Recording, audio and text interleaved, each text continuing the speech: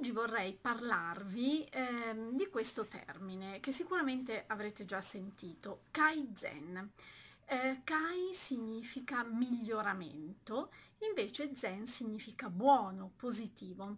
Questo è un termine che fu coniato nel, nell'86 da Masaki Mai eh, per mh, mm, in qualche modo creare una filosofia, spiegare con il pensiero quello che era stato il grande eh, sviluppo, grande e continuo dell'industria giapponese.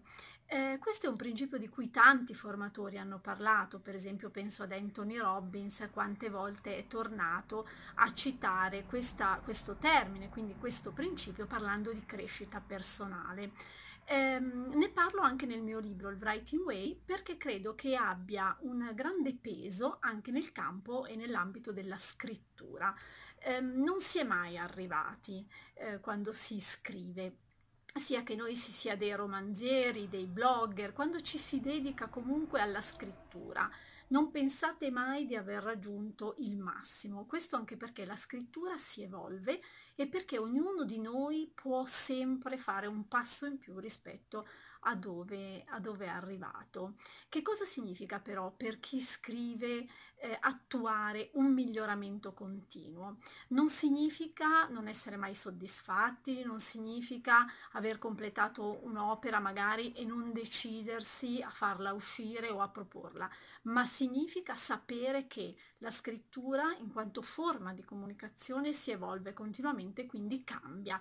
Noi dobbiamo aggiornarci, dobbiamo conoscere questi cambiamenti, dobbiamo avere sempre il polso della situazione, dobbiamo darci continuamente nuove organizzazioni del nostro tempo, quindi ehm, anche darci dei piani di, di, di scrittura, un tempo, un luogo, organizzarci.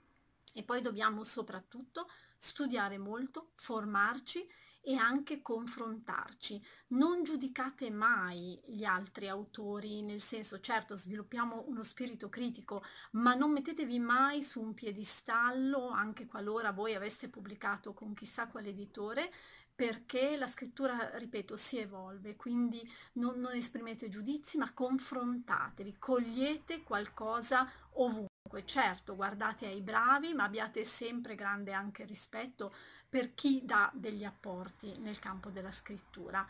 Quindi miglioramento è questo, mh, mm, quindi uno studio costante della tecnica, eh, della letteratura, eh, ma anche mh, mm, riflettendo sul vostro compito di autori. Chi scrive propaga pensiero, propaga valori, quindi avete un grande compito. Ecco, ci tenevo a, a condividere con voi questa riflessione, augurandovi una buona giornata.